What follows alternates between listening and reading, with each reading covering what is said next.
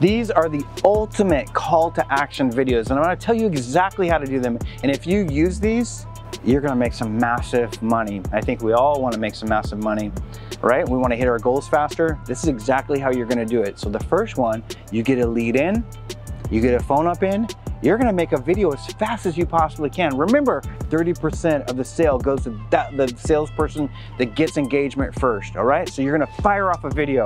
Everyone else is gonna be calling, leaving voicemails and text messages. You're gonna fly in there with a video. You're of course gonna wanna get a hold of them on phone. You wanna connect with them, but you're gonna say, you're gonna give them a video quickly saying, hey customer, this is Chad over at the dealership. You're gonna wanna insert your name there. For some of you, you know, I have to explain that, but you're gonna wanna insert your name. Hey, this is Chad over the dealership. I just wanna let you know that I'm gonna be calling you in moments. Expect a call from me, can't wait to hear from you. The second strongest call to action is the appointment video. You've got them that far, you wanna bring it all the way home. And that's where you're gonna stand out by the car, you're gonna tell them that you got it washed up, cleaned up, ready to go. You might even ask them, hey, what kind of coffee do you like? Please confirm on the live chat directly on this page. That is a strong call to action. That's gonna get them that step over into the dealership. Okay, the third one is a thank you video. Just keep it simple. They bought a vehicle from you.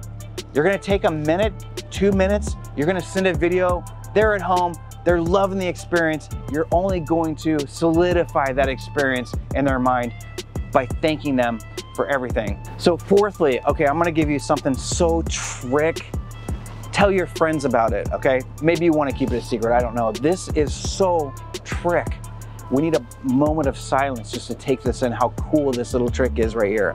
As soon as your customer leaves, you're gonna line up four videos. You're gonna put them on a quick page because on QuickPage, you can schedule these things years in advance down to the very minute. Okay, think about that for a minute. What you're gonna do is you're, as soon as they, they purchase a vehicle, you've sent them a thank you video, you're gonna line up, you're gonna find out what their birthday, what their birthday is, you're gonna schedule in a quick page that thank you video. Hey customer, Chad over here at the dealership, I don't know if you remember me or not, but you bought a car from me six months ago. Just wanna say happy birthday. By the way, if you click right, I, I, I got a Starbucks, uh, hold, that, uh, hold that barcode up to the barista, go have a coffee on me, enjoy your day. That's one how cool is that? That's gonna blow your customers' minds. Two, you're gonna do the car purchase anniversary. You're gonna do some holiday videos, maybe just thinking about you videos.